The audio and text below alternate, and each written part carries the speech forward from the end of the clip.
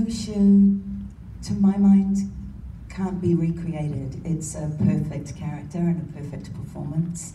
Salve a tutti cinepresi, come avete potuto vedere ho avuto la fortuna di andare a Milano ad assistere alle prime immagini del live action di Mulan alla presenza della regista Niki Caro. Se volete sapere come mai non c'è Mushu in questa versione live action, aspettate a fine video dove vi presenterò l'intervento completo della regista. Ma con questi pochi minuti che ho a disposizione volevo anche raccontarvi le scene che ho visto e soprattutto provare a raccontarvi un po' quello che è il dietro le quinte del mondo della promozione filmica. Devo partire subito subito con i grandi ringraziamenti che vanno a CineAvatar, che è il sito con cui collaboro, un sito di amici che mi ha dato questa grandissima possibilità. Abbiamo visto tre scene molto brevi, solitamente eh, quando la Disney fa questo tipo di incontri con i registi vengono presentati anche dei dietro le quinte molto interessanti, purtroppo questa volta abbiamo avuto solamente dei footage, ma la regista ci ha descritto eh, quello che più o meno è il progetto, l'intenzione del film. Le immagini che abbiamo visto tra l'altro non sono neanche complete, la musica era provvisoria, provvisorie e persino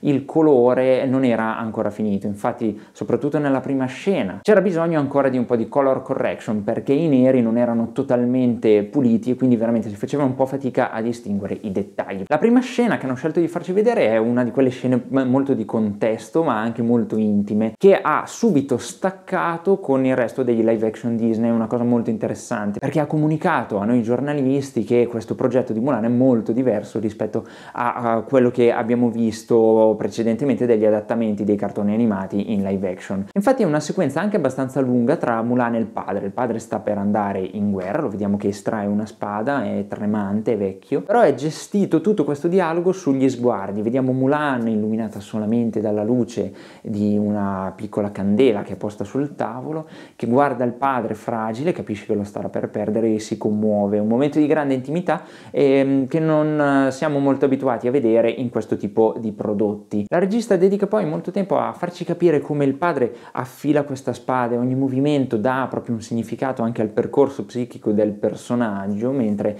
eh, Mulan ovviamente inizia il dialogo che noi conosciamo, ovviamente no? Se io fossi stato un ragazzo tu non saresti dovuto andare in guerra, il padre le risponde che non uh, avrebbe cambiato nulla della sua vita, poi alla fine vediamo Mulan prendere la spada e vediamo che si sa destreggiare già bene. La seconda scena che ci ha fatto vedere vedere Niki Caro è, è quella dell'allenamento, il famoso allenamento amatissimo nella versione a cartone animato, questa volta molto più duro, molto più tradizionale, appunto vediamo Mulan che si allena con gli altri, ha una grande capacità di destreggiarsi eh, che è abbastanza insolita, soprattutto perché eh, quando ci è stato il momento delle interviste, la regista ha tenuto a precisare che nonostante il riferimento tutti noi no, pensiamo alla tigre e al dragone, in realtà questo Mulan è molto più grounded, molto più eh, attaccato alla fisica normale, quindi eh, questo si tramuta da un lato in una um, essenza dei personaggi molto meno cartunesca e molto più concreta, terrena, infatti dico che sembra un film vero, cioè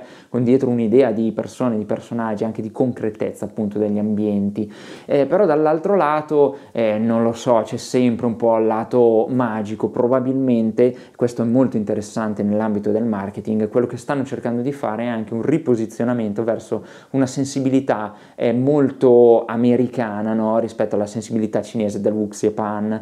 ci tiene la regista anche a sottolineare, e in questo posso concordare perché da quello che abbiamo visto funziona parecchio, che questo Mulan probabilmente avrà dei grandi passaggi dall'intimo all'epico. La terza scena che mi è piaciuta veramente tanto, quella del combattimento, siamo a metà film più o meno, vediamo gli invasori che stanno appunto arrivando in questa vallata bellissima con eh, i monti che appunto la sovrastano. Probabilmente questa sarà una premessa rispetto alla famosa scena della valanga che la regista appunto ha deciso di tenere. La difesa eh, che appunto è ferma con gli archi che si tendono e le frecce che iniziano a solcare il cielo e mentre gli invasori stanno correndo correndo, vediamo una eh, piccola falange eh, di questo gruppo eh, di cavalleria che si distacca. Allora Mulan parte all'inseguimento molto chiaro in ogni sua parte, gli invasori si girano a, a cavallo, quindi iniziano a prendere l'arco, a tendere due frecce contemporaneamente. Mulan riesce a evitare per poco due frecce, appunto, però vede che man mano tutti i suoi compagni vengono colpiti e muoiono, appunto questo già è quasi insolito no, da vedere in questo tipo di prodotti Disney. Mulan allora inizia inizia a rispondere in un vero e proprio combattimento con arco e frecce, veramente molto dinamico, il montaggio è ottimo eh, fino a che non è costretta a, desistere e a continuare da sola questo inseguimento verso l'orizzonte. Qui è finita anche la scena che abbiamo visto noi, eh, però veramente sono dei footage che fanno veramente capire molto bene quello che vuole essere il tono del film, un grande distacco rispetto agli altri prodotti, quindi è importante che questo venga fatto vedere. La Disney è una delle poche case che fa questo tipo appunto di incontri stampa, ha iniziato diciamo il marketing italiano con, uh, con questo, perché eravamo veramente in molti e quindi si è iniziato a fare un passaparola notevole. Eh, c'è stata anche la possibilità appunto di scambiare delle battute e insolito perché come sapete c'erano state grandi polemiche su Mulan per alcune dichiarazioni appunto dell'attrice non troppo felici sulla situazione eh, di Hong Kong eh, però appunto non si sono sottratti alle domande dei giornalisti. In particolare molto interessante oltre alla domanda su Mushu è stato il fatto che il film era abbastanza rischioso dal punto di vista culturale proprio perché eh, l'America si impadronisce di una cultura che non è propria però appunto la regista ha fatto numerose ricerche per poter eh, avvicinarsi di più e essere eh, molto fedele. Perché? Perché Mulan eh, non è solamente un film d'animazione, ma è anche una ballata molto antica che appartiene alla tradizione cinese, quindi appunto hanno cercato il più possibile di essere fedeli. Allora perché non c'è Mushu? Sentiamolo dalla sua viva voce. The beloved animated classic stands on its own. I love it. And Mushu, to my mind, can't be recreated. It's a perfect character and a perfect performance. And the most respectful thing I could do in the live action was to let it be perfect in the animation and bring the story in live action in the most real and intimate and epic way. I do appreciate what is great about Mushu, and that is the humour and the levity.